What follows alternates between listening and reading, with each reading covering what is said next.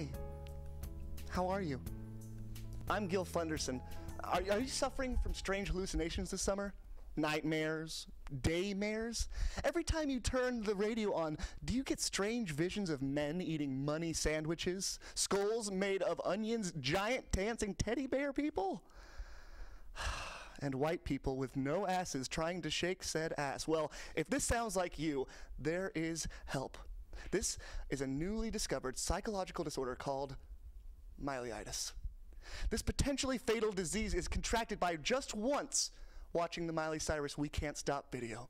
And it has been driving people across the nation insane, like my friend Dan here. Dan, you want to come on out? So it's okay, buddy. No, it's okay. Thanks, Gil. Sweet Gil. No, come on, buddy. Let's pick it up. Well, um, when I when I when I first heard that Mike, Miley had a new a new song and video, I was kind of excited. You know, I mean, remember um, what's it called? Uh, uh, uh, Party in the song? Party in the USA. USA is everyone's jam. So I was really excited. So I watched the video, and I watched it again.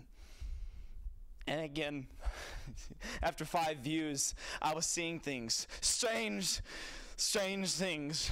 I left my apartment to try and clear my head of the madness that was the video. But when I got outside and I rounded the corner, I saw everyone had steam billowing from their crotches. I mean, everyone! It's okay, it's okay. I knew I was delusional and needed help. So I found Gil. Come here, buddy. Jan, you want to tell your story? Thanks, sweetheart. I've always considered myself a reasonable person. I'm sorry. I donate to charity, I pay my taxes on time, and I am rarely late to planned engagements. But then I saw that video. That awful video. And for the next two weeks, I became straight ratchet. I twerked my way up and down the street, screaming at people that God can only judge me and forget the haters. It's my party. I can do what I want. My friends were ignoring me. My boyfriend dumped me. I didn't care. I, I just cut my hair and dyed it blonde because I thought it was cool. I thought I was cool. But I wasn't cool. So I called Gil for help.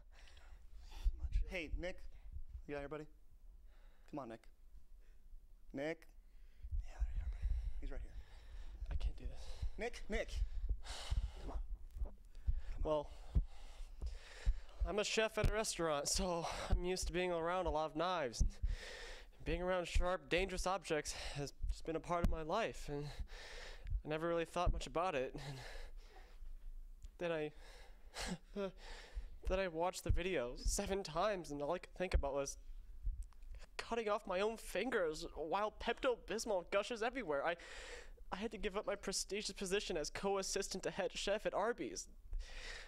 So I called Gil. I, I called Gil. I called, You called me. You called me and you got help. We all got help. These people were cured, and you can be too. Join my program. We can stop fighting Mileyitis. No more will you suffer these wild illusions where white girls wear grills a- and beat open pinatas full of breakfast food.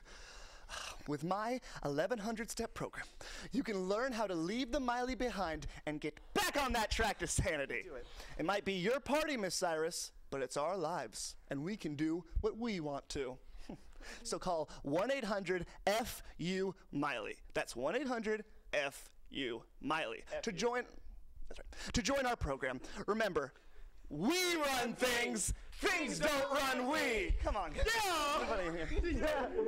I love you guys. Things don't run we.